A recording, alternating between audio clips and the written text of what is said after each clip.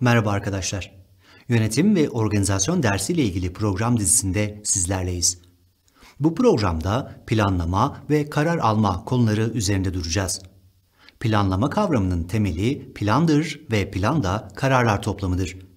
Bu nedenle planlama ve karar alma iç içe süreçlerdir. Peki planlama süreci nasıl işler?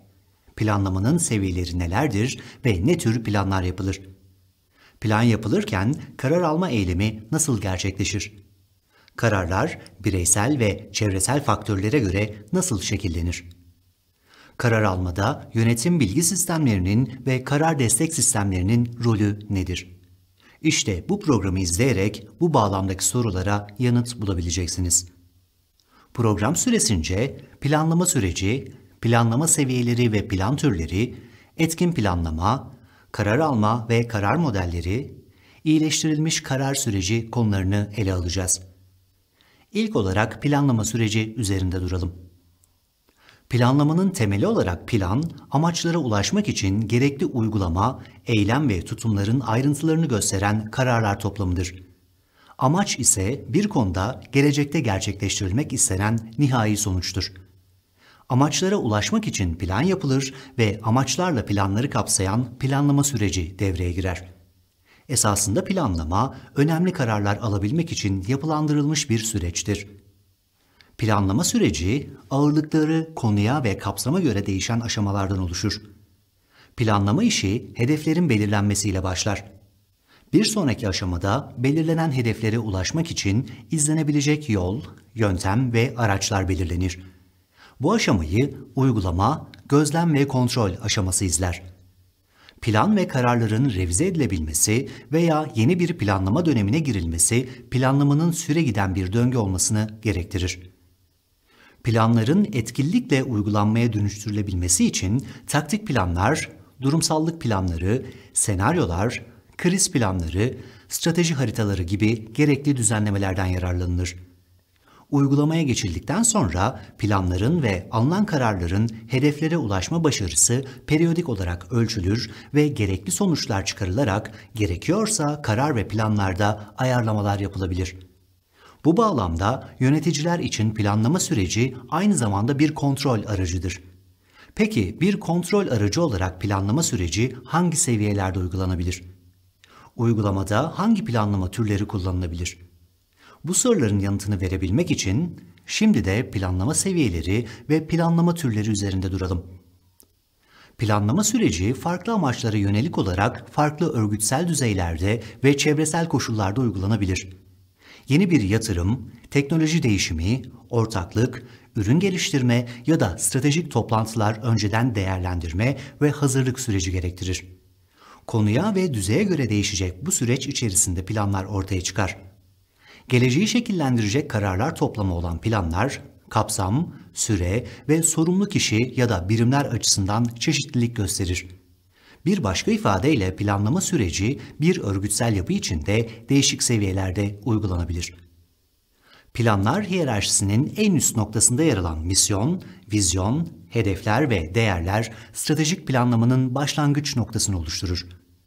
Örgütün misyonu çerçevesinde örgütsel etkinlik ve etkinlik ilkeleri dikkate alınarak oluşturulan stratejik planlar tepe yönetimin sorumluluğundadır.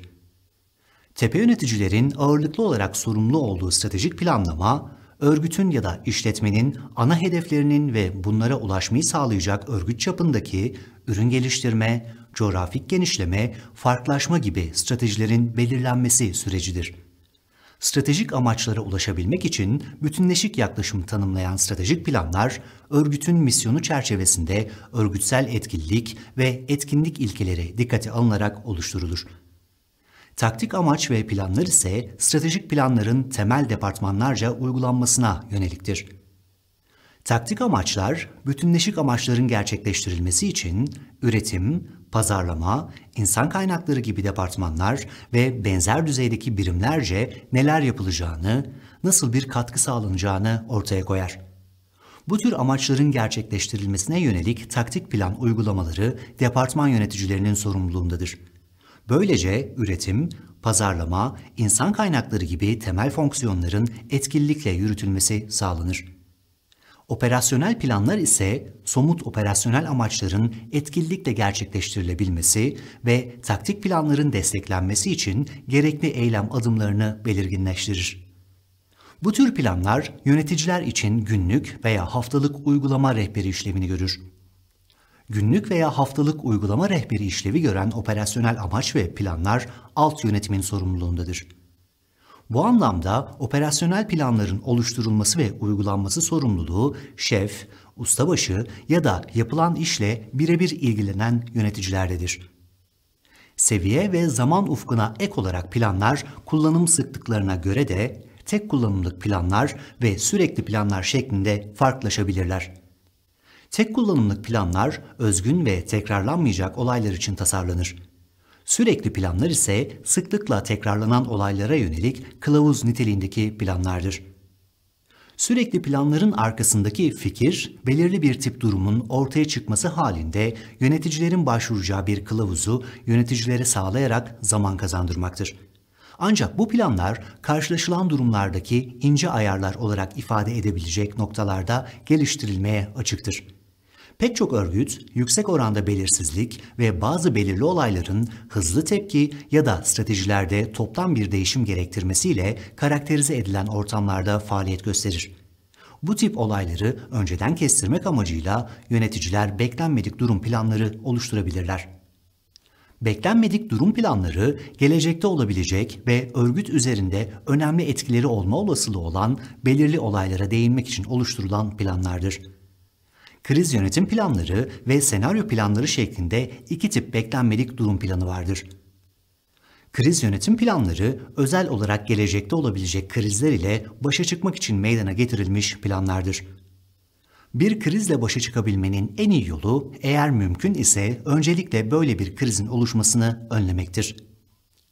Ancak krizlerin tamamını önlemek olanaksızdır. Kriz yönetiminin bir başka safhası krizi ve sonuçlarını kontrol altına almaktır. Kontrol altına alma olgusu, krizin etkilerinin sınırlandırılması için bir kriz meydana geldikten sonra alınması gereken adımlarla ilgilidir. Bu eylemler toplam kriz yönetim planının bir parçası olmalıdır.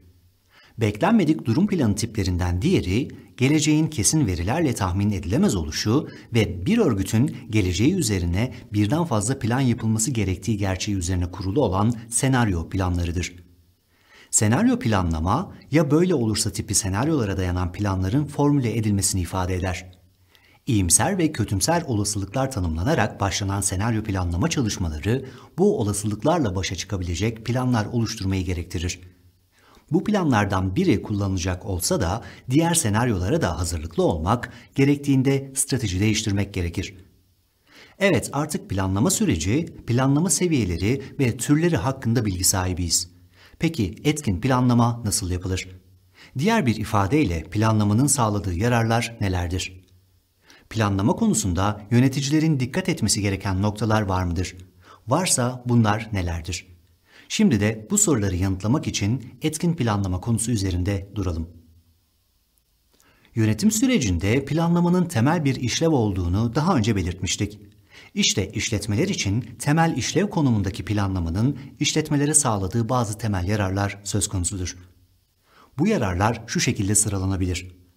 Planlama bir örgüte yön ve amaç kazandırır. Planlama, yönetimin kıt kaynakları farklı faaliyetlere yönlendirdiği bir süreçtir. Planlama, işletme bütçelerini yürütür. Planlama, örgüt içerisindeki kişi ve birimlere sorumluluk atar. Planlama, yöneticilerin örgütü daha iyi kontrol edebilmesine olanak sağlar. Planlama süreci doğru yönetilemediğinde yarar yerine olumsuzluklara neden olabilir. Planların genelde tam olarak eyleme geçirilememesi ya da yetersiz uygulanmalarından dolayı başarısız sonuçlar ortaya çıkabilir. Planlamanın eksiklikleri ve riskleriyle başa çıkmak için yöneticilerin dikkat etmesi gereken noktalar vardır. Ayrıca planların iyileştirilmesi için planlama süreciyle paralel seyreden karar alma konusunu da kavramak gereklidir. Gelin şimdi de karar alma ve karar modelleri konusuna değinelim. Yöneticilik fonksiyonunun temel bir bileşeni olan karar alma durumundaki kararlar, yönetimin kaynakları kullanma, problem çözme ve hedeflere ulaşma başarısını belirler. Esasında karar alma, seçenekler arasından tercih yapma sürecidir. Bu bağlamda karar ise seçenekler arasında yapılan tercihi işaret eder. Kararlar en genel anlamda programlanmış ve programlanmamış olarak gruplandırılır. Programlanmış kararlar önceden tekrarlanmış, rutin ve gelecekte de gerçekleşmesi öngörülmüş durumlara bağlanmıştır. Programlanmamış kararlar ise özel, öngörülemeyen ya da rutin dışı durumlar oluştuğunda yapılan seçimlerdir. Örgütsel kararlar farklı düzeylerde ve farklı pozisyonlardaki karar vericiler tarafından alınır. Üst basamaklarda tepe yöneticiler tarafından alınan kararlar stratejik niteliktedir.